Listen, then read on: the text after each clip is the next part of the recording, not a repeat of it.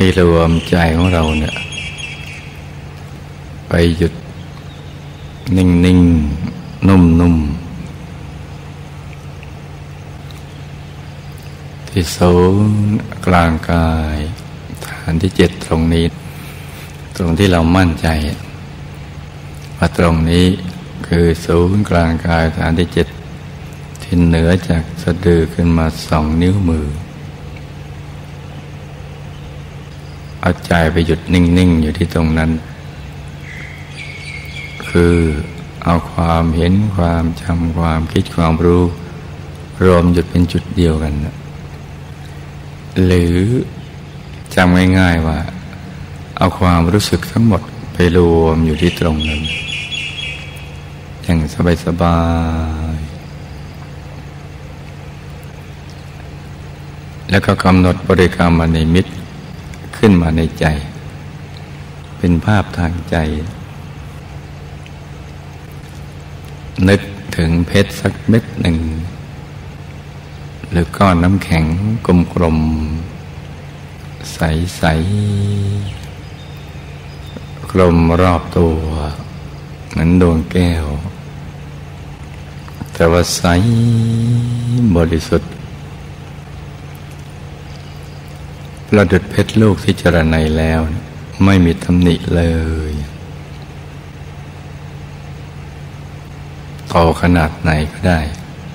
อย่างน้อยโตเท่ากับแก้วตาของเรา อย่างน้อยเนี่ยหรือขนาดดวงอาทิตย์ดวงจันทร์ดวงดาวเนี่ยที่เรา มองขึ้นไปบนท้องฟ้าในตอนกลางคืน ขนาดไหนแล้วก็นึกเอาขนาดนั้น ขนาดที่เราชอบ แต่ต้องกลมรอบตัว เหมือนดวงแก้ว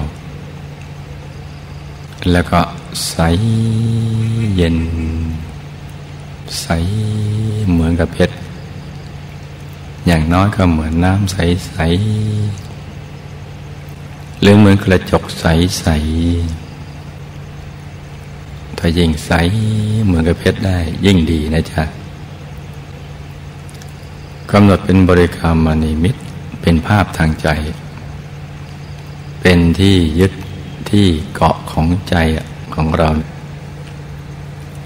ใจจะได้ไปไปคิดเรื่องอื่น นี่สำหรับนักเรียนใหม่นะจ๊ะที่เพิ่งมาใหม่ ให้นึกอย่างสบายสบายคล้ายๆกับเรานึกถึงสิ่งที่เราชอบที่เราคุ้นเคย นึกง่ายๆ สบายๆพร้อมกับประคองใจ ให้หยุดนิ่งอยู่ที่ตรงฐานที่เจ็ด ด้วยบริกรรมภาวนาในใจเบาๆ โดยให้เสียงของคำภาวนา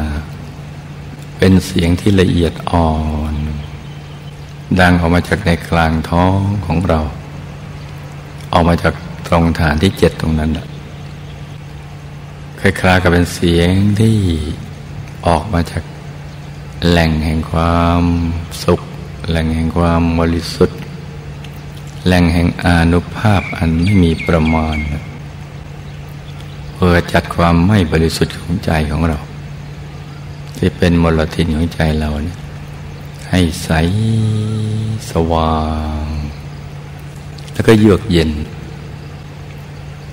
เราภาวนาว่า สัมมาอรหัง สัมมา อรหัง สัมมาอรหัง จะภาวนากี่ครั้งก็ได้ แต่ทุกครั้งที่ภาวนาสัมมาอรหัง เราก็จะต้องไม่ลืม ตรึกนึกถึงดวงใส อาใจหยุดอยู่ในกลางดวงใส ๆ ของบริกรรมนิมิตนั้น ของภาพที่เรานึกขึ้นมา ตรึกนึกถึงดวงใส ใจหยุดอยู่ในกลางดวงใสใสพร้อมกับภาวนา สัมมาอรหัง สัมมาอรหัง สัมมาอรหัง ภาวนาสัมมาอรหังอย่างนี้ไปเรื่อยๆ จนกว่าใจจะหยุดนิ่ง จนทิ้งคำภาวนาไปเอง หรือเกิดความรู้สึกว่า ไม่อยากจะภาวนาสัมมาอรหังอีกต่อไป อยากหยุดใจนิ่งนิ่ง นุ่มนุ่มเบาเบาที่กลางดวงใส ๆ อย่างเดียว ถ้าเกิดความรู้สึกอย่างนี้ เราก็ไม่ต้องภาวนาสัมมาอรังอีก แต่ว่าเมื่อใดใจเริ่มหลุดออกไปฟุ้งคิดก็ฟุ้งไปคิดถึงเรื่องอื่น เราจึงย้อน กลับมาภาวนา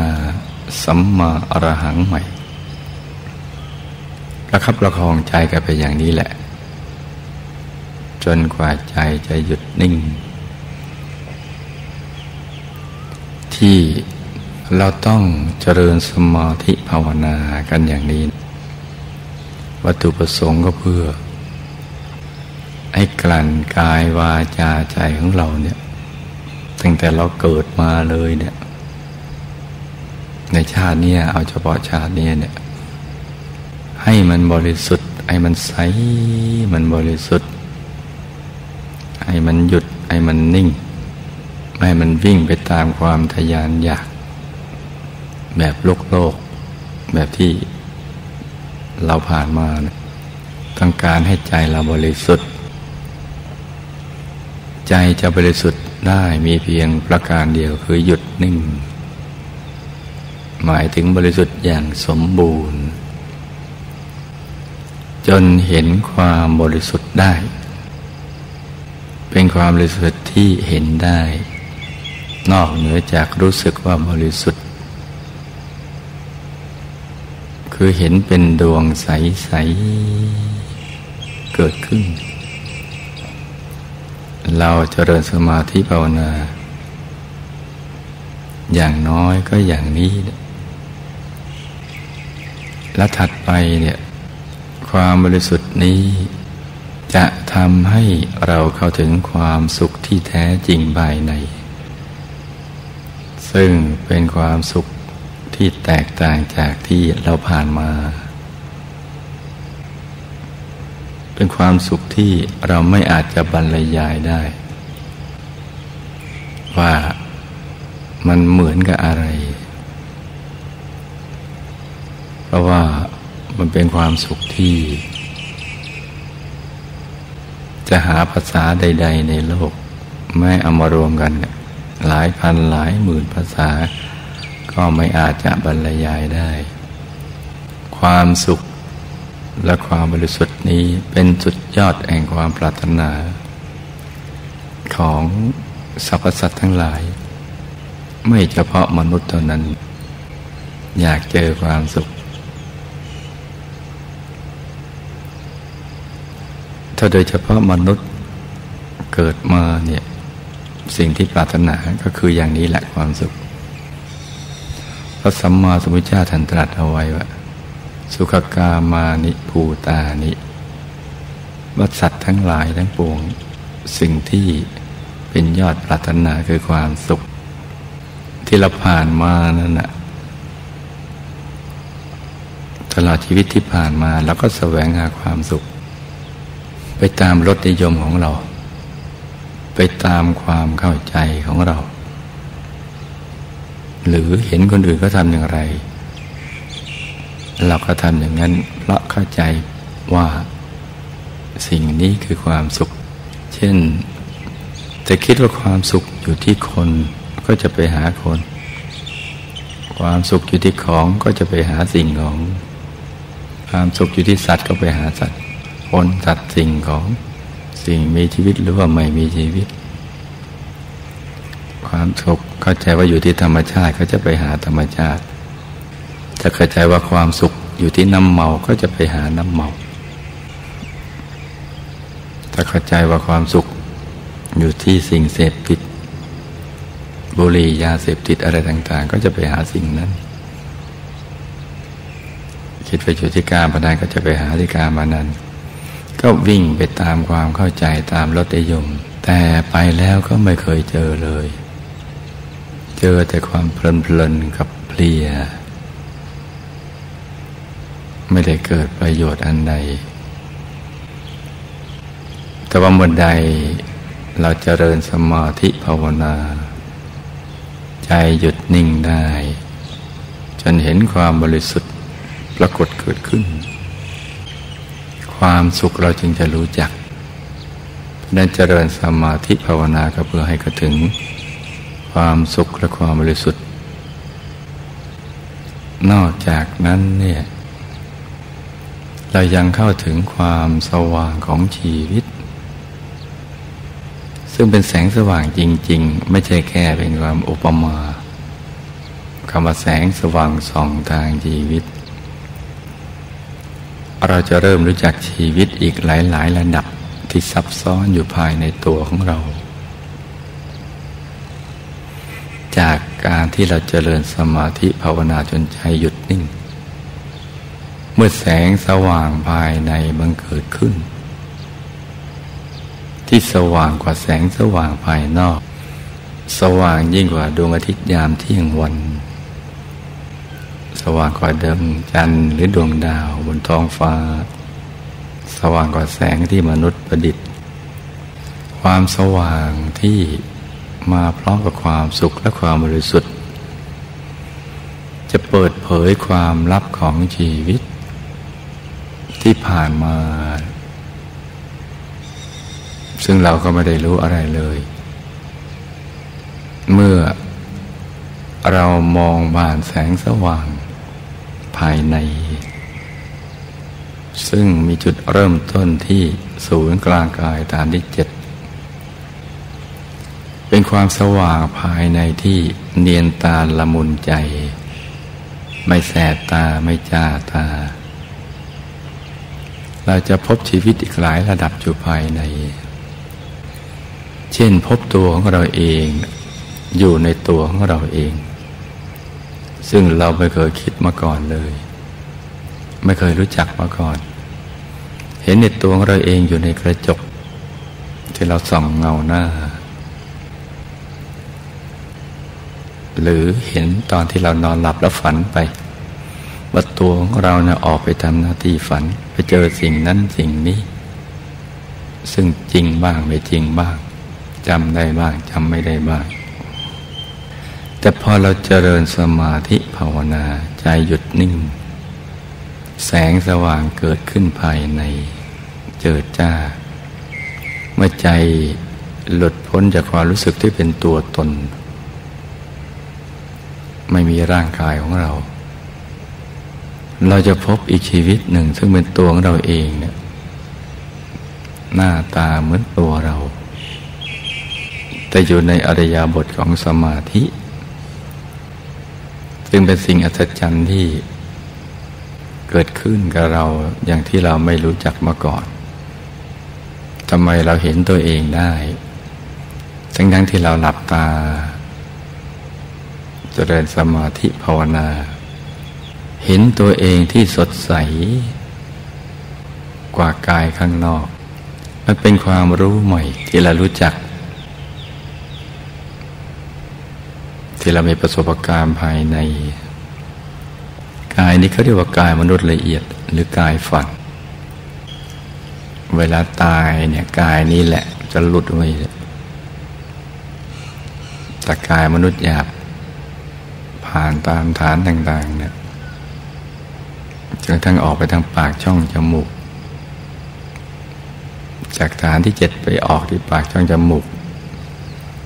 แต่เวลาเรายังมีชีวิตอยู่เนี่ยจะปรากฏให้เราเห็นตอนเราหลับแล้วก็ฝันไป กายนี้เขาเรียกว่ากายมนุษย์ละเอียด อยู่ภายในนี่ก็เป็นผลจากการเจริญสมาธิภาวนาที่ทำให้เรามีความรู้เพิ่มขึ้น ความลับของชีวิตนี่ถูกทำลายออกไปในระดับหนึ่ง และเมื่อใจของเราหยุดนิ่งอยู่ในกลางของกายมนุษย์ละเอียด นิ่งจนสนิท จนกระทั่งเรานี่เป็นกายมนุษย์ละเอียด อีกความรู้สึกเป็นกายมนุษย์ละเอียด เหมือนเรามีความรู้สึกเป็นกายมนุษย์หยาบนี่แหละ ความรู้ก็จะเกิดขึ้นอีกระดับหนึ่งว่า จะเดินแล้วเข้าใจว่ากายมนุษย์หยาบเนี่ยเป็นตัวเรา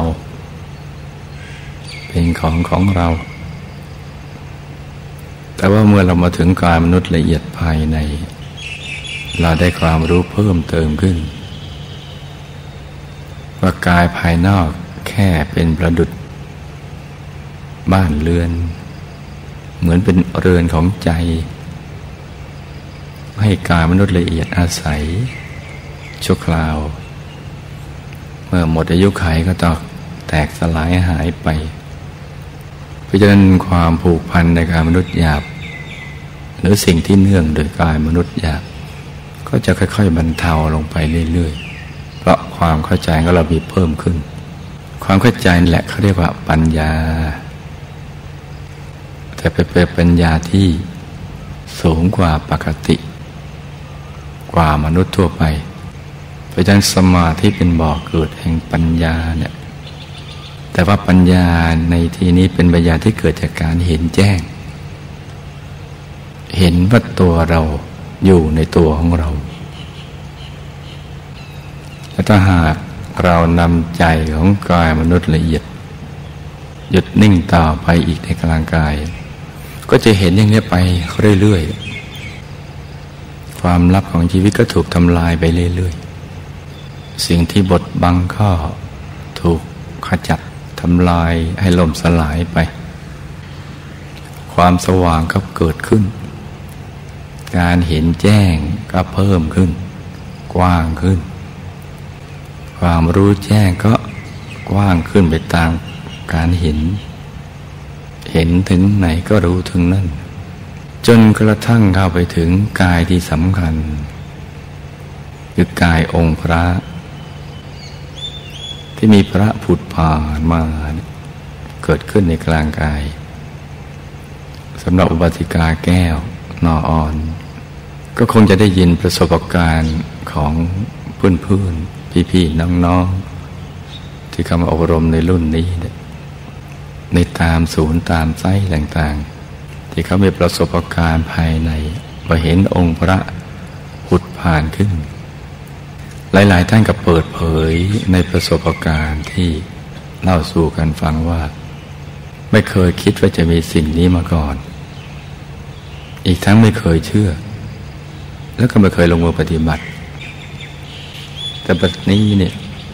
ได้ทำลายความสงสัยนั้นไปแล้วโดยตัวของตัวเอง เมื่อใจหยุดนิ่งก็เป็นสิ่งที่ผ่านความไม่เชื่อมาก่อน แล้วก็ลงมือปฏิบัติ โดยที่ไม่รู้อะไรเลย แค่หยุดนิ่งเฉยๆแล้วก็ไม่ได้ทำอะไรที่นอกเหนือจากนี้ แค่ทางการให้ใจมันสงบแล้วเกิดความสุขภายในเท่านั้น แต่แล้วก็เกิดปรากฏการณ์ที่บุญเก่าได้ช่องส่งผลทำให้ใจเนี่ยหยุดนิ่งแล้วก็เข้าถึงดวงธรรมภายในแล้วก็เห็นองค์พระภายในปรากฏเกิดขึ้น เป็นองค์พระแก้วที่ใสบริสุทธิ์ ใส เหมือนน้ำแข็งบ้าง ใสเหมือนกระจกเงาบ้าง ใสเหมือนกับเพชรบ้าง แล้วก็ใสเกินใสเกินความใสใด ๆ ในโลก ใสที่ทะลุได้ แล้วก็มีแสงสว่าง ที่เนียนตาละมุนใจ อีกทั้งรูปกายขององค์พระก็แตกต่างจากพระพุทธรูป ที่เคยเห็นเคยเจอ มีเกตดอกบัวตูมตั้งบนจอมกระหม่อม ซึ่งมีเส้นประศกหรือเส้นผมขดเวียนเป็นทักษิณาวัดหมุนขวาตามเข็มนาฬิกาเรียงลายอย่างสวยงาม บนพระเศียรท่าน ที่ตั้งอยู่บนพระวรากายที่งดงาม แตกต่างจากพระพุทธรูป ภายนอกที่เคยเห็นเคยกราบไหว้บูชา ตรงนี้แหละ เราจะเริ่มเข้าใจเพิ่มขึ้นว่าทำไมปู่ย่าตายายหรือบรรพบุรุษของเราที่เป็นชาวพุทธต้องสร้างพุทธปฏิมากร หรือพุทธรูป เอาไว้เป็นที่เคารพกราบไหว้บูชา เป็นเครื่องระลึกนึกถึงพระสัมมาสัมพุทธเจ้า ความเข้าใจนี้จะเพิ่มขึ้น ก็มีข้อสงสัยพระพุทธรูปที่เกิดขึ้นที่เขาสร้างกันภายนอก กับภายในเนี่ยมันแตกต่างกันลาฟ้ากับดิน ต่างตรงที่ความสวยงาม ความใส ความสว่าง แล้วก็ความรู้แจ้งที่เกิดจากการเห็นแจ้ง แต่เข้าใจเพิ่มขึ้นที่เขาสร้างพระพุทธรูปขึ้นมาเนี่ยก็เพราะเขาถอดแบบออกมาจากภายในนี่แหละ แต่ว่าช่างเข้าไม่ถึง แต่ก็สืบทอดความคิด สื่อสารกันต่อๆกันมา เป็นวัฒนธรรมของการสร้างพุทธปฏิมากร เพื่อระลึกนึกถึงพระพุทธเจ้า ซึ่งก็เป็นสิ่งที่ดี แล้วก็จะเข้าใจเพิ่มขึ้นว่าเขาสร้างขึ้นเพื่อให้รู้ว่า ในตัวของเรานี่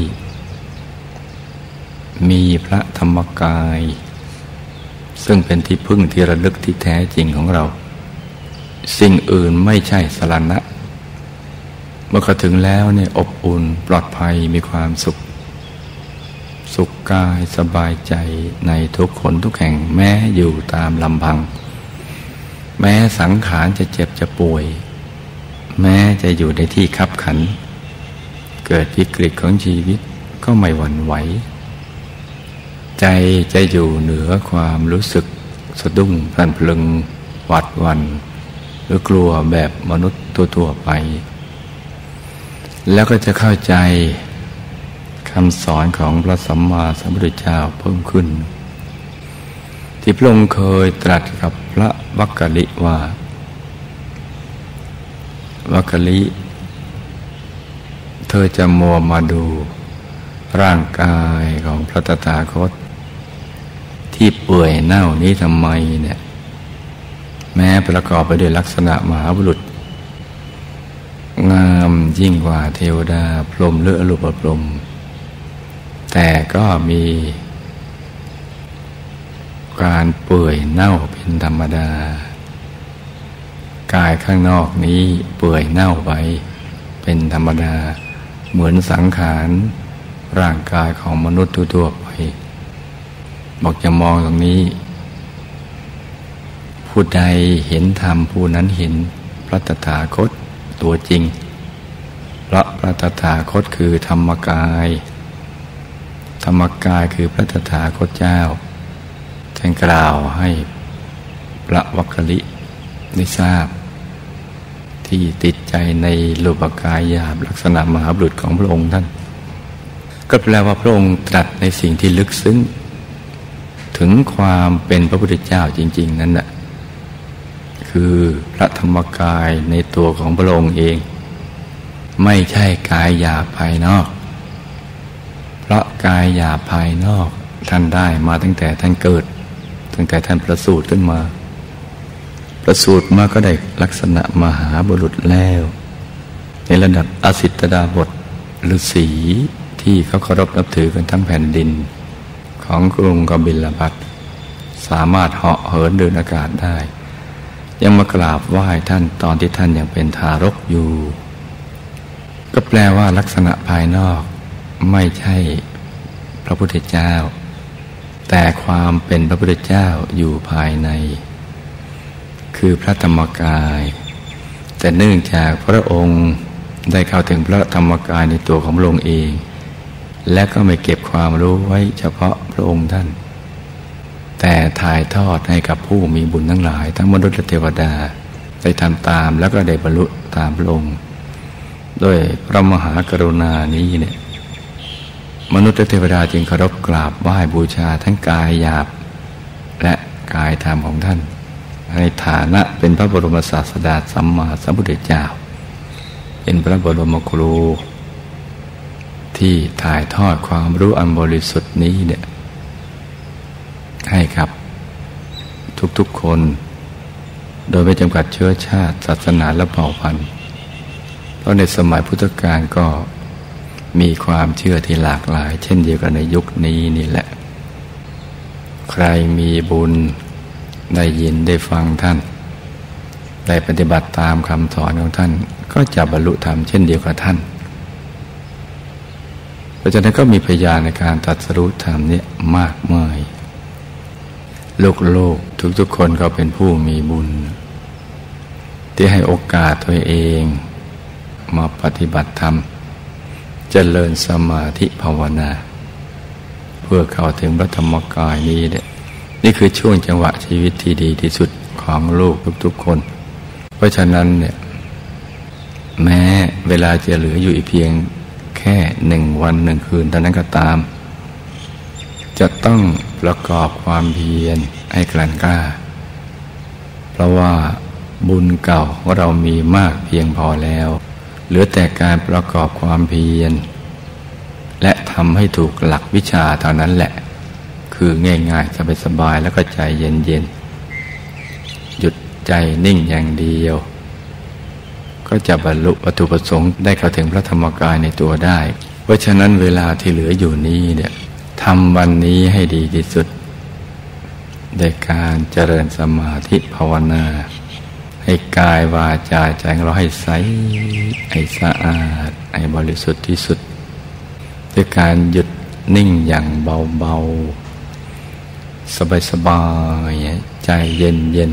ๆระคับประคองใจไปเรื่อยๆด้วยบริกรรมภาวนาในใจเบาๆว่าสัมมาอรหังสัมมา อรหังสัมมาอรหังตรึกนึกถึงดวงใสหยุดอยู่ในกลางดวงใสใสส่วนผู้ที่ได้ดวงใสใสแล้ว แล้วก็เข้าถึงองค์พระภายในแล้ว ก็จงหยุดใจต่อไปอีกหยุดอยู่ในกลางดวงใสใสหยุดอยู่ในกลางองค์พระ หรือหยุดในกลางกายตัวเองที่เราเห็นอยู่นั่นแหละ กลางดวงกลางกายตัวเองหรือกลางองค์พระ ที่เราเห็นอยู่นั่นแหละอย่างเบาเบาสบายสบายเรื่อยๆไปทำซ้ำๆทำให้ชำนาญ ให้ติดเป็นนิสัย เป็นจริตปณิสัยให้ชำนาญทั้งหลับตาก็เห็น ลืมตาก็ต้องให้เห็น นั่งนอนยืนเดินก็ต่อยเห็น ชัดใสแจ่มกระจ่างทีเดียว นั่นแหละจะเป็นที่พึ่งที่ระลึกที่แท้จริงของลูกทุกๆคน แล้วก็จะได้มีโอกาสได้ศึกษาเรียนรู้วิชาของพระสัมมาสัมพุทธเจ้าเพิ่มขึ้นได้ ถ้าลูกปรารถนา ก็จะศึกษาเรียนรู้ได้ เขาเรียกว่า วิชาธรรมกาย ตั้งแต่วิชาสามวิชาแปดประการอะไรต่าง ๆ เหล่านั้นเป็นต้น จะศึกษาได้ต่อเมื่อเข้าถึงพระธรรมกายในตัว เพราะว่าเป็นวิชาของพระของพระธรรมกายที่จะต้องศึกษาด้วยพระธรรมกาย สั่งสอนด้วยพระธรรมกาย เฉพาะพระธรรมกายเท่านั้น กายอื่นเรียนไม่ได้ ต้องเรียนได้เฉพาะพระธรรมกายในตัวของเรา ถ้าเราเข้าถึงท่านเป็นอันหนึ่งอันเดียวกับท่าน นั่นแหละ เวลาที่จะศึกษาเรียนรู้วิชาธรรมกายได้เบิกเกิดขึ้นแล้วพบชาติทั้งหลายเนี่ยจะอยู่ในสายตาของเรา เหมือนเราลืมตาของกายมนุษย์หยาบ ห็นต้นหมากหลากไม้ภูเขาเหล่ากาดวงอาทิตย์ดวงจันทร์ดวงดาวอย่างนั้นแหละ มันจะอยู่ในสายตา แต่เป็นสายตาของพระธรรมกายเขาเรียกว่าธรรมจักขุ คือดวงตาธรรมของพระธรรมกาย ที่มีความเห็นแจ้งที่แตกต่างจากการเห็นทั่วๆไป แตกต่างจากการเห็นด้วยตามนุษย์ แตกต่างจากการเห็นด้วยตาของเทวดา แตกต่างจากการเห็นด้วยตาของกายรูปภพหรือแตกต่างจากการเห็นของอรูปภพทั้งหลาย เห็นแตกต่างอย่างนี้ ภาษาธรรมะเขาเรียกว่าวิปัสสนา เป็นการเห็นที่วิเศษที่แจ่มแจ้งและแตกต่างจากการเห็นทั่วไป เพราะเห็นด้วยธรรมกายนั้น จะเห็นไปทุกทิศทุกทางณจุดเดียวกัน ตำแหน่งเดียวกัน และวันใดที่ลูกทุกคนได้เข้าถึงพระธรรมกาย ได้ศึกษาวิชาธรรมกาย ได้ใช้ศูนย์กลางกายร่วมกัน ตำแหน่งเดียวกัน ความรู้ความเข้าใจ การเห็นแจ้งก็จะเห็นเหมือนกัน รู้แจ้งเหมือนกัน เมื่อเห็นแจ้งเหมือนกัน รู้แจ้งเหมือนกัน ก็จะคิดเหมือนกันพูดเหมือนกันทำเหมือนกัน เมื่อคิดเหมือนกันพูดเหมือนกันทำเหมือนกัน สิ่งดี ๆ ก็จะบังเกิดขึ้นกับในโลกใบนี้ อย่างอัศจรรย์ทีเดียว